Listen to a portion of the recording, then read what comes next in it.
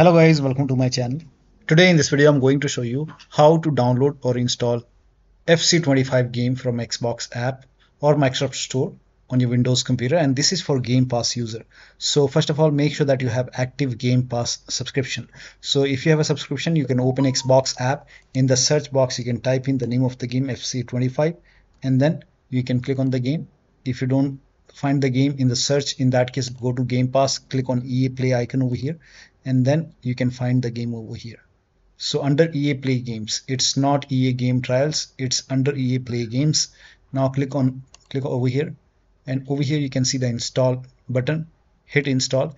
If ea app is not pre-installed in your computer it will prompt you to install ea app. So click on install ea app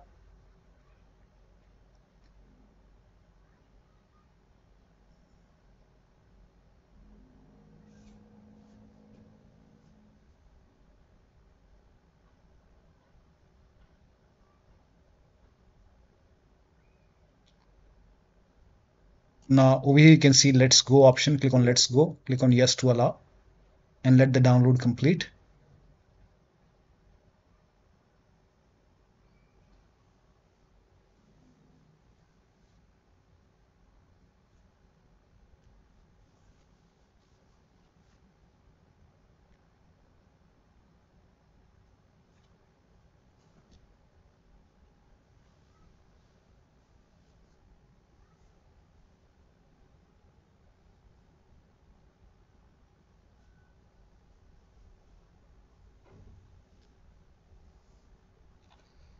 Now once installed, uh, you can go to your profile icon and then you can go to settings and then go to library and extension and make sure EA app is enabled over here. So you can just enable EA app over here.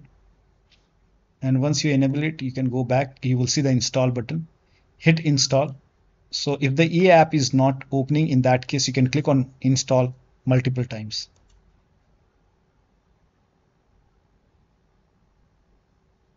And here you can see EA app is opening now.